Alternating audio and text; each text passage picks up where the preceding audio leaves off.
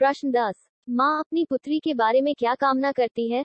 उत्तर, माँ अपनी पुत्री के बारे में कामना करती है कि वह ससुराल में जाकर समझदारी से काम ले। वह अपनी मोलेपन के कारण बंधनों में न बंधे। वह अपने ऊपर होने वाले अन्याय और अत्याचारों से बचे और अबला न होकर सबला बने।